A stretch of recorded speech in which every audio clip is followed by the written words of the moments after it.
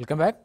శిరీష గారు ముప్పై ఒక్క రోజులుగా మీరు చేస్తున్న ఈ పాదయాత్రకు ప్రతి గ్రామంలో దాదాపుగా మద్దతు వస్తూనే ఉంది. ప్రతి సెక్షన్ నుంచి ఈ కులము ఈ మతము ఈ ప్రాంతము ఈ ఊరు ఈ జిల్లా అని కాకుండా ప్రతి ఒక్క చోట కూడా చాలా ఆదరణ కనిపిస్తోంది.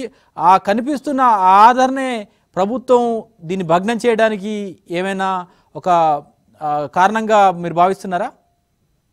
ఖచ్చితంగానండి.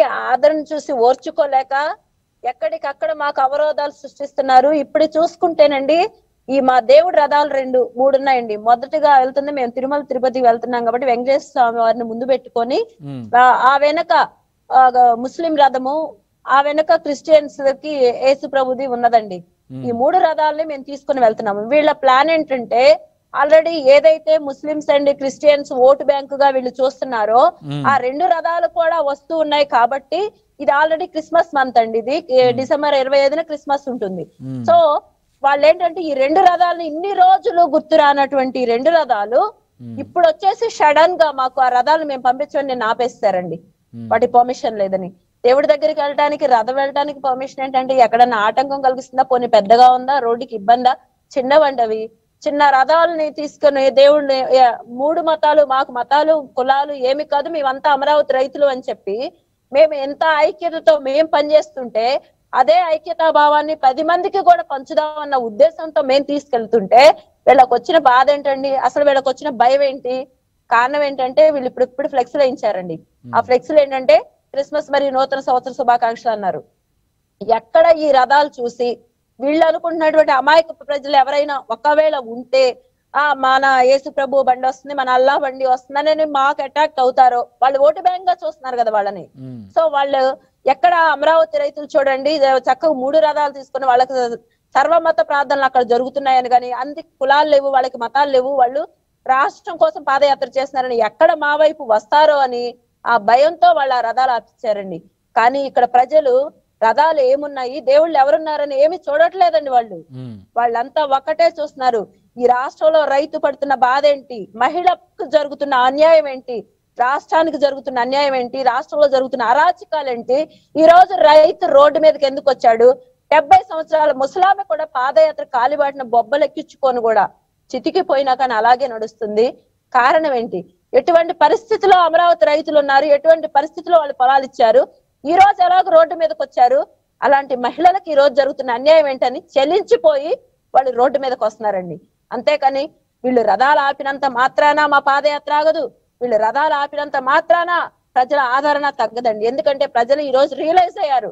ఏదైతే వీళ్ళు తప్పు చేస్తున్నారో ఆ తప్పు ఇది వీళ్ళ వీళ్ళ పక్షాన జరుగుతుంది అన్యాయం అని చెప్పి తెలుసుకొని నిన్న ఎప్పుడైతే మా మీద వీళ్ళు ఆ భోజనానికి ఆటంకాలు కలిగించారో అక్కడ మాకు మొబైల్ వాష్రూమ్స్ ఆపేశారో ఇవన్నీ చూసిన తర్వాత వేల సంఖ్యలో వచ్చారండి. వాళ్ళని తట్టుకోవడానికి ఆ రోడ్లు కూడా సరి సరిపోలేదు.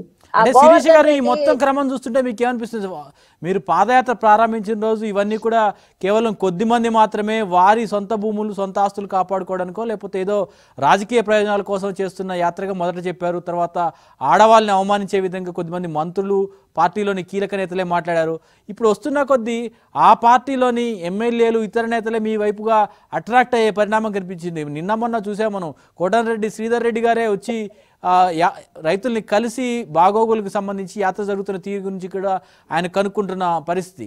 అంటే యాత్ర పూర్తయ్యే నాటికి రాష్ట్ర వ్యాప్తంగా ఉన్న అన్ని వర్గాల వారితో పాటుగా అన్ని పార్టీల వారిని కూడా కన్విన్స్ చేయగలమన్న నమ్మకం కలుగుతుందంటారా? ఖచ్చితంగానండి. ఇప్పుడు మీకు ఒక చిన్న విషయం చెప్తానండి. మా రథం మా ఇప్పుడు మా జరుగుతున్న పాదయాత్రలో కూడా మనము అన్ని పార్టీల వాళ్ళ సంఘీభావం ఉంది అని చెప్తున్నాము. అయితే ఎక్సెప్ట్ వైసీపీ అని అంటున్నాము. కానీ ఆ వైసీపీ వాళ్ళు కూడా మా రథాన్ని నడిపే రథ సారథి మా స్వామివారి రథం నడిపే రథ సారథి ఆయన వైసీపీ నాయకుడండి. ఆయన రెండు వేల పంతొమ్మిదిలో ఎలక్షన్కి ఫండింగ్ చేసినటువంటి వ్యక్తి. ఇంకొక వ్యక్తి ఉన్నారండి. ఆయన మొత్తం ఈ ఆర్గనైజింగ్ చూసుకుంటూ ఉంటారు. ఆయన కూడా వైసీపీ నేత ఒక కీలక నేత మా తాడికొండ నియోజకవర్గంలో. అతను కూడా మా వెనక ఉండి నడిపిస్తున్నారు. కాకపోతే పార్టీ జెండా అనేది ప్రజల కోసం పక్కన పడేశారు. వీళ్ళకలాగా జెండాలు పట్టుకొని పార్టీల కోసం వాళ్ళు పనిచేయట్లేదండి. అన్యాయం జరిగింది. ఆ పార్టీలో ఉన్నారు ఆ రోజు. ఓట్లు వేయించారు ఇంటింటికి తిరిగారు. ఓట్లు వేయించారు. పార్టీ ఫండింగ్ వాళ్ళు లక్షల ఫండింగ్ ఇచ్చారండి వాళ్ళు. ఇచ్చారు. కానీ ఈ రోజు జరిగింది అన్యాయం అని తెలుసుకున్నారు కాబట్టి మా పాదయాత్రకు మద్దతుగా వాళ్ళు వచ్చి వాళ్ళు ముందుండి నడిపిస్తున్నారు. మొన్న ఒక వెంకట్ రెడ్డి గారంటండి ఒక డిబేట్లో మాట్లాడతారు. మా నాయకులు ఉన్నారని చెప్పి డ్రామాలో ఒకటి చెప్తున్నారా అంటున్నారండి. నిజానికి అది వాస్తవం. నిజానికి వాళ్ళకి అసలు ధైర్యం ఉంటే మా పాదయాత్రలోకి వచ్చి చూడొచ్చు కదా. వాళ్ళు నిజమా కాదా అనేసి ఈ రోజు వీళ్ళకి అర్థం కా వాళ్ళ నాయకులందరూ మాతో వస్తున్నారు. ఎవరో వీళ్ళు పదవులు ఆశించి మినిస్టర్ పదవులు ఆశించి ఇంకోటి ఆశించి ఇంకోటి ఆశించి ఉన్న వాళ్ళు కూర్చొని ఏదో వాగుతున్నారు కుక్క మొరిగినట్టు మరుగుతున్నారు కానీ మిగతా వాళ్ళు ఆల్మోస్ట్ పార్టీ జెండా పక్కన పడేసి మా వెనకాల నడుస్తున్నారు. అది వాళ్ళు తెలుసుకోవాలి. ప్రజలు కూడా ఈ రోజు వీళ్ళు పెన్షన్లు కట్ చేస్తామన్నా ఇంకోటన్నా ఎన్నో భయాలు కలిగిస్తున్నారు. అయినా కూడా పక్కన పెట్టేసి మా వెనక నడుస్తున్నారంటే వీళ్ళు ఎటువంటి పరిస్థితులు వీళ్ళకి నిజానికి అమరావతి రైతులు చూసి మానసిక వ్యాధికి గురయ్యారండి వీళ్ళు. ఏమంటే ఓన్లీ అమరావతి అభివృద్ధి కాదు రాష్ట్ర అభివృద్ధి కాదు వీళ్ళకి కావాల్సింది. అమరావతిని నిందించడం అమరావతి మీద నిందలు వేయడం అమరావతి రైతుల మీద నిందలు వేయడం ఒక పార్టీ ఉద్యమం అని చెప్పడం లేదంటే ఏంటి చంద్రబాబు గారు బినామీలు చేసిన యాత్ర అని అంటూ ఇలాంటి వీళ్ళకి ఇది ఒక వ్యాధి కలిగిందండి. ముందు తక్షణమే ఆ వ్యాధికి మందు కావాలంటే ఈ ప్రజాదరణను చూసి ఆ వ్యాధి వాళ్ళకి ఇంకా పెరిగిపోతుంది రోజు రోజుకి.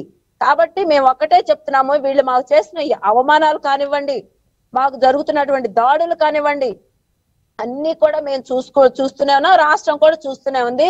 వాళ్ళ రోగానికి మందు ఈ రాష్ట్ర ప్రజలే వాళ్ళకి రోగానికి మందేస్తారండి. అలాగే అమరావతి రైతుల జోలికి వస్తే ఏం జరుగుతుందో నాగులపాడులో కూడా ప్రజలు తిరుగుబాటు చేసి చూపించారు. దయచేసి మా యాత్రను అడ్డుకుందామని గాని మా మీద ఏదో చేద్దామని గాని మీరు ప్రయత్నం చేస్తే మీరే ఫెయిల్ అవుతారు. తప్ప మా యాత్ర అయితే ఆగదు. ఎట్టి పరిస్థితిలోనూ ఆపము.